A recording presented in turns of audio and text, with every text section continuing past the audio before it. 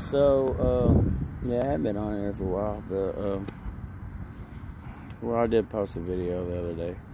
But anyway, um, not much going on. Everybody's contained, can't go anywhere, can't do anything. Coronavirus is just really screwing things up. Uh, hoping I can get uh, unemployment, which can't get a hold of anybody, so I don't know how that's gonna go, but uh, yeah, still surviving, just trying to make things work, and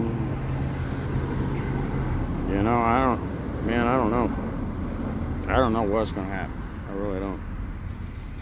All I know is that uh, I got I got food, I got clothing, I got house, I got stuff like that right now, but it's it's starting to get scary. Um,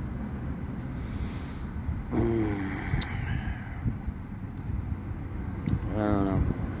Anyway, that's where I'm at right now. So, uh, peace out.